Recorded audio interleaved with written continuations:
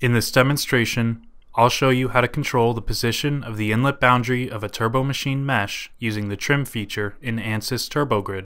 This method may also be used to adjust the position of the outlet.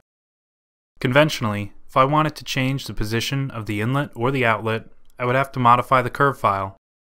Curve file modification can be tricky because removing a point may alter the generated spline slightly. In TurboGrid, I can relocate the position of the inlet or the outlet using the trim feature. Specifically, I can change the axial or radial positions of the inlet at the hub or the shroud. For this case, I'll move the start of the inlet closer to the blade while still intersecting the hub and shroud contours. As we can see, the green lines show where the inlet block extended to in the original geometry. With my inlet starting point properly adjusted, I'll insert the mesh.